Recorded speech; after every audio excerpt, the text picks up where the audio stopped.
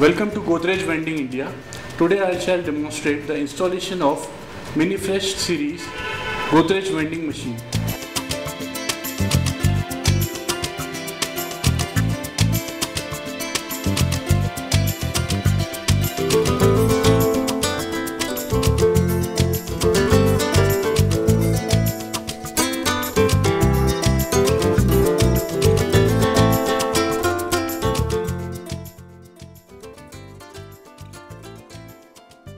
This packing envelope contains the drink inserts and service manual. We shall now begin removing the drip tray. Remove the masking tape. Here you can see the drip tray cover. These are accessories present inside the drip tray. This is a silicone tube which is used for the water supply. This is a PVC 1 meter tube for draining the wastewater. Here you can see the spout for soup, the keys of the machine, two cable ties and a plug for drip tray. We'll take the key for unlocking the machine. Let's open the door now. On the rear side of the door, you'll find the power cord and the stainless steel pipe. These are four canisters provided for premix and these are the three mixing bowls. The first bowl is common for the two canisters. As you can see, the top cover is openable for convenience of removing the canister. This is the canister support provided for arresting these canisters in its position during transit. This is to be removed. As you can see, there are many masking tapes applied which are to hold the canisters in its position. So you need to remove all these masking tapes. This is the front door of the machine which has front keypad having 10 keys. 8 keys can be used for programming flavors. This is function key, rinse key and hot water key. At the inner side of the door, these are two keys, A and B key used for programming of the machine. The programmable keys on the keypad used for flavor programming are key number 1, 2, 3, 4, 5, 6, 7 and 8. This is the drink insert sheet that needs to be inserted inside the keypad to identify the flavor name. Now I shall demonstrate how to place the inserts inside the keypad. We shall put espresso insert as the first flavor inside the keypad. There are 5 slots provided on both sides for placing drink inserts which will give the name of the flavor. This way we can easily slide the drink insert inside the keypad. There are two drink inserts for each flavor provided on the sheet. These can be inserted from both sides as per the alignment required. Connect the silicone tube to the inlet of the pump present at the rear side. Apply cable tie to ensure a firm fitment on the tube. Connect the other end of the silicone tube to the SS pipe. Make sure the SS pipe is inserted up to 10 mm inside the silicone tube. The SS pipe has to be placed inside the bottled water jar. The water supply connection is now complete. We shall now begin with the electrical connection. Connect the power plug into the socket at the rear side. Ensure the power switch is in off position. Connect the power plug to 15 ampere power socket and switch on the machine. The drain tray is provided to collect the wastewater. Please ensure the red color plug is fixed properly on the center. Alternatively, you can use PVC drain tube to drain wastewater collected in the drain tray by removing the red drain tray plug. Insert PVC drain tube through this hole. Now we shall see premix filling in the canisters. Remove canister lid. You can see metal or plastic auger. Metal augers are used for fine powder premixes like coffee and plastic auger for other premixes. Now you can see all canisters are filled. Machine is fully programmable and hence you can set the required recipe. Upon switching on the machine, the machine software version shall be displayed on the machine display and the display shows water level low. Here you can see both the water levels are 0 and temperature is 30 degrees. The water starts filling in the machine. When the first water level is achieved, the level displayed is 0, 1. Once both the levels are achieved, the level displayed is 1, 1. The message will appear as getting ready which means the water is filled and heating has started. The temperature of water now starts increasing. Once temperature is achieved, the machine displays welcome. Now we shall enter the programming mode by pressing the key A for 5 seconds. The machine will ask for password. We can enter the password by pressing key 1 4 times. We have now entered the program mode. The machine will display 11 menu levels. Level 1 Beverage Program for setting the drink parameters. Level 2 Set temperature for setting the boiler water temperature.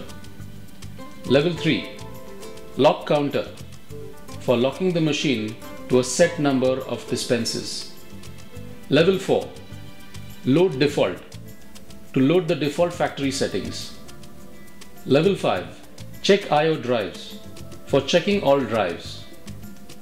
Level 6 Check sensors for checking the different sensors present in the machine. Level 7 Set rinse time to set the idle time of the machine. Level 8 Change password to change the default password. Level 9 Select sensors to define the sensors needed. Level 10 Set pay system to decide the mode of payment for beverages. We shall now enter the beverage program by pressing the function key. For programming the flavor 1 key, we have to program different channels. The first parameter to be set is channel 1 delay. This delay is the period after which the dispensing shall start. To set this delay, press the function key once and the cursor shall appear. Its value can be increased or decreased using key 1 and 2. To change the cursor position, use key 3. Finally, save the value 22.5 seconds by pressing the function key. We shall now move to the next parameter which is channel 1 water. Here the default value set is 8.3 seconds. The values for channel 1 water and other parameters can be set in the same way as for channel 1 delay. The third parameter is channel 1 pause, which adds delay in steps of half second in total dispensing time. The fourth parameter is channel 1 premix 1, used for setting premix time for channel 1 that is first canister. The fifth parameter is channel 1 p delay 1 which is used to introduce a delay in the premix starting time. Similarly, the settings can be changed for other canisters. The next parameter is channel 1 whipper, which can be enabled or disabled as per the corresponding flavor using the function key. Similarly, the settings can be changed for other channels. Further, we have multi-cup option to dispense multiple number of cups, which is restricted to a maximum of 4 cups. Next is drip time, which is the idle time at the end of dispensing. The test flavor option is used to test the changes made without saving. In order to save the changes made to default program, we can use Save Changes option using the function key. The message will be displayed Changes Saved. In the same way, we can set the other flavors. Next is hot water, for which the dispense time can be set in seconds. The next level is Set Pay System, in which there are three payment options, which is Token Mode, Free Vend, and MDB mode. The machine is now programmed for free vend. Next is change password to set the user desired password. Any of the flavors can be used to select new password. In this case, we have set the new password by using flavor key 2. The next option is select sensors. Here we have provision to set either or all three sensors which are cup sensors, drip tray sensor and the drip tray level sensor. The next option is set rinse time which is used to set the idle time in minutes to prompt for rinse. The check IO drive option is used to check the respective drives by switching it on or off. The next option is load default, used for loading the default beverage parameters of the machine. The lock counter option is used to set the counter of a flavor and then decrement with each dispense of that particular flavor. Once the count is zero, that particular flavor will be locked. Set temperature can be used to set the water temperature of the boiler in the range of 80 to 97 degrees. Machine operation in recipe mode is done here while the coffee is getting dispensed. You can see the dispensing of the coffee and the creamer. Here you can see the premix falling from different canisters in recipe mode which are creamer and the coffee. When the dispensing is done, the display shows enjoy drink. We can check another recipe of the machine by dispensing hot chocolate. We can check the temporary count of the machine by pressing the function key once and the flavor key for which the temporary count is to be checked. Here for flavor 1 it is 1, flavor 2 it is 0 and for flavor 3 it is 3. Same way the permanent count can be checked by pressing function key twice and then the respective flavor. Pressing function key thrice gives us the water level and the boiler water temperature status. Pressing the A key once will make the machine go into standby mode. In this mode, all keys except A key are locked. Pressing the same key again will bring the machine back to normal dispense mode.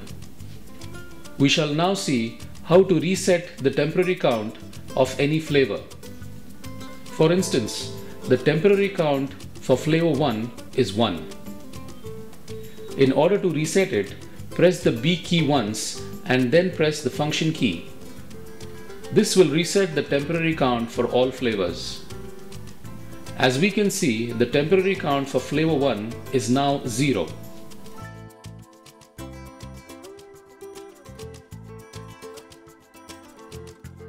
For doing the cleaning of mixing bowls, first rotate the spout in upright position to avoid the powder spillage. Then remove the canisters. Then remove the funnel cover. Check for powder deposition at the inside. To unlock the mixing bowl, push the orange funnel lock upwards and then pull out the funnel assembly. Remove the silicone tube connected to the dispense outlet.